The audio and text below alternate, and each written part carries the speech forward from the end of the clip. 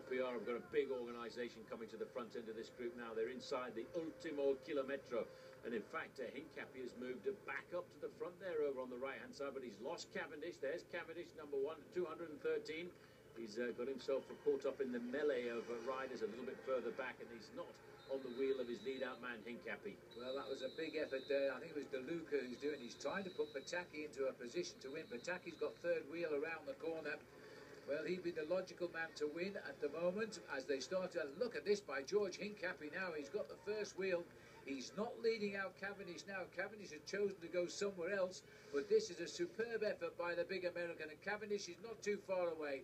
Well, there you can see Allan Davis uh, comfortably in second position. There's the move now. This is the lead out for Thor Hushovd on the right, and that's Haussler.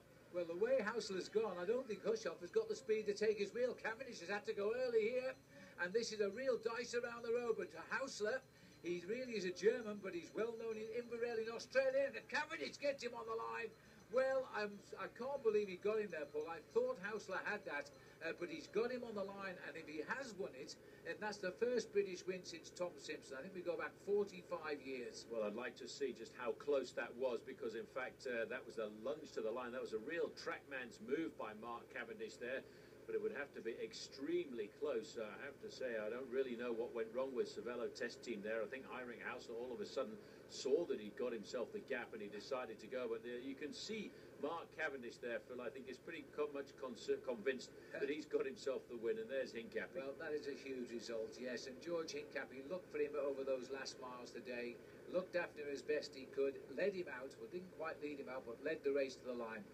I have to say that is an incredible result, not just for Mark Cavendish, but also for the British as well, because uh, that was a very special ride.